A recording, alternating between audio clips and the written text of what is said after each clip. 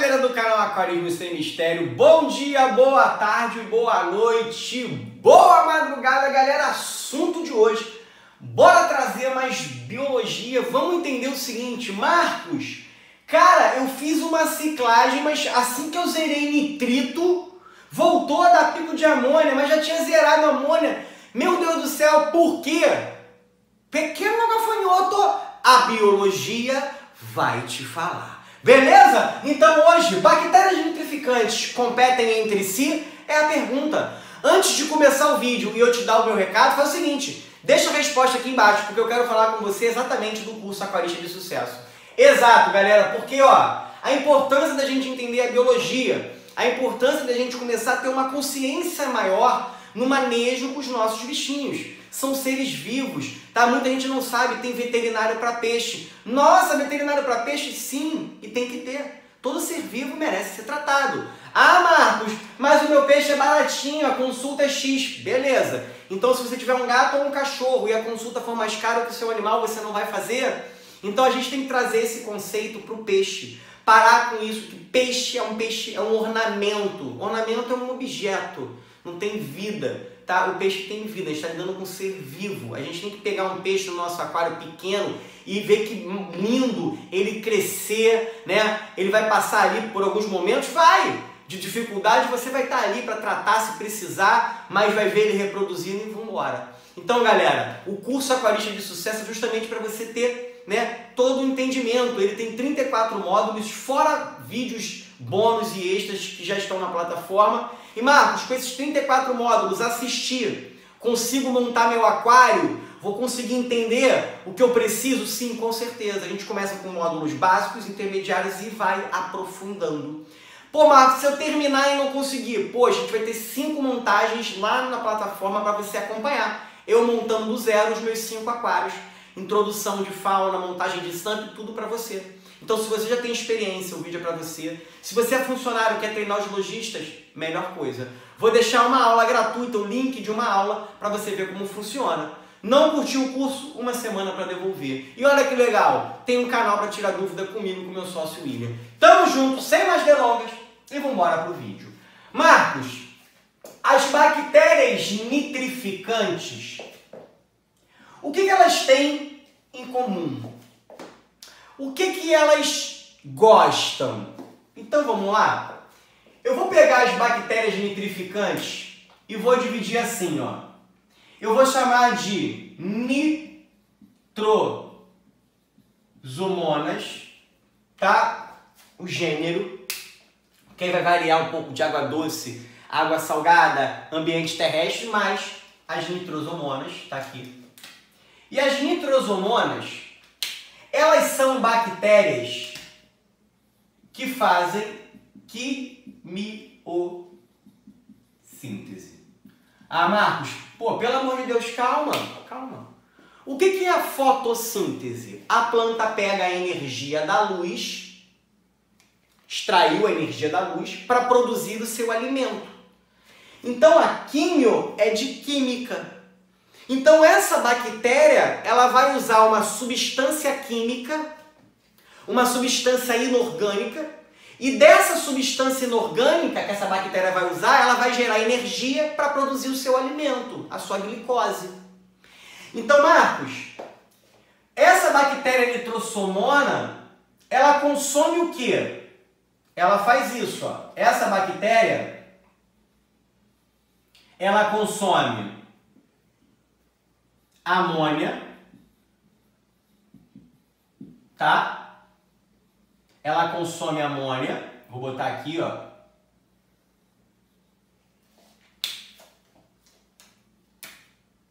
Ela consome amônia nesse processo ó, de quimiossíntese, tá?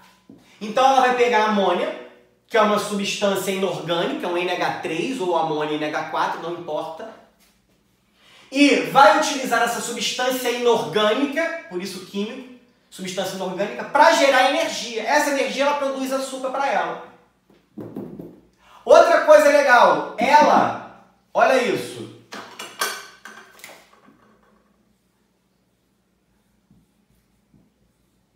Usa oxigênio. essa glicose que ela produziu, ela vai usar na respiração celular para quebrar a glicose na presença do oxigênio e liberar energia. Então ela usa oxigênio. E ela vai produzir quem? Vou botar aqui, ó, de pretinho. Nitrito. NO2. Show. Aí, olha que coisa maravilhosa. Você vai ter, deixa eu mudar aqui, ó, as nitrobacter. Aqui, ó, nitro bacter. Show? Show, tá aí, bonito. Essas bactérias, elas também são quimiosintetizantes. Elas fazem quimiossíntese. Só que nota, essa daqui usa amônia. Essa daqui vai usar o quê? Pequeno gafanhoto, olha só. Ela vai usar o nitrito. Exatamente. Ela vai usar o nitrito em qual processo? Para gerar energia para ela. E vai liberar o que no meio? Vai liberar o que no meio?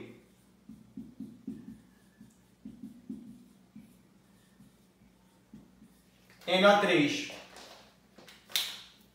Então nota, mas ela também, ó,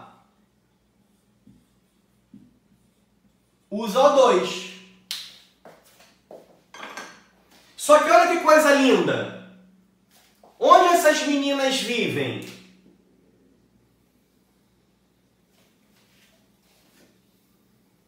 Olha que maravilhoso. Elas vivem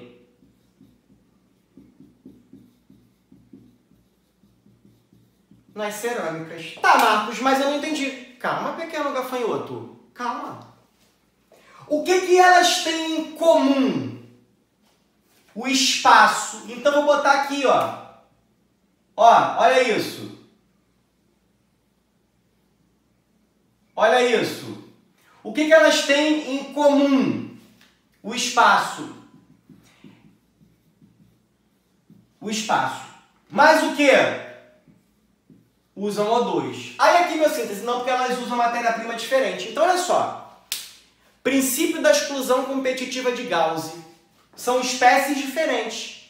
Duas ou mais espécies que habitam a mesma área cerâmica e disputam por recursos. No caso, elas não disputam alimento, mas elas disputam oxigênio.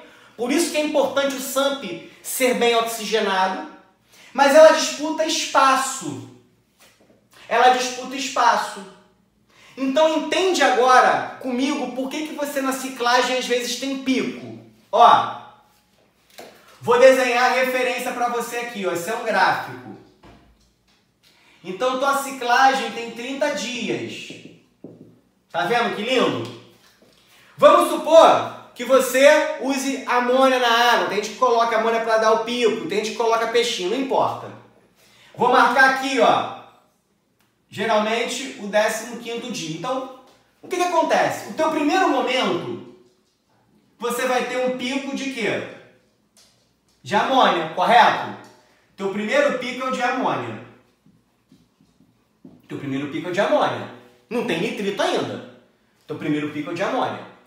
Aí, quando essa amônia começa a diminuir, é um sinal que essas bactérias aqui colonizaram o espaço da cerâmica. Você concorda que como eram as primeiras e não tinha ninguém para competir por espaço, elas colonizaram o máximo que puderam, zerou. Logo, essa amônia, ela foi convertida em nitrito opa, começa a surgir minha comida. O que, que eu preciso agora para comer? Espaço. Pô, mas o meu espaço está todo tomado. Aí, essa bactéria aqui começa a competir com a outra por espaço, até haver um equilíbrio. E aí, ó, essa bactéria que é de baixo, à medida que cresce, diminui o nitrito, que vai ser convertido em nitrato. E aí, olha só, se o teu, se teu espaço lá, se tua cerâmica não tiver em grande quantidade, para que essas bactérias que consomem nitrito, na hora que elas começarem a consumir nitrito e crescer, elas cresçam para a área livre. Porque se tu tiver pouca cerâmica, elas, como tem muita comida, elas vão começar a multiplicar e tomar espaço da outra. E se você começa a perder bactéria de cima, aquele consumo de amônia que era maior vai ser menor. Então tua amônia volta a subir. Então sempre que você fizer uma ciclagem, zerou nitrito, voltou a ter pico de amônia, aumenta a cerâmica. Acabou. E um detalhe, por que, que o ciclo é importante de 30 dias ou quando você usar aceleradores, né? Usou blend, usou night, usou Istar, usou Pristine, você tem que introduzir peixe aos poucos. Porque uma bactéria patogênica, por exemplo, uma para virar duas demora 15, 20 minutos. Mas as nossas, uma para virar duas, de 16 a 24 horas. São bactérias lentas no processo. Então, beleza? Tamo junto e misturado. Vou deixar, ó. Galera, se você curtiu o vídeo, deixa um joinha, compartilha, deixa o seu like. É muito importante para que a gente atinja o maior número de pessoas. Vou deixar o link do curso e uma aula gratuita para você ver. Tamo junto e misturado. Vamos que vamos e fui!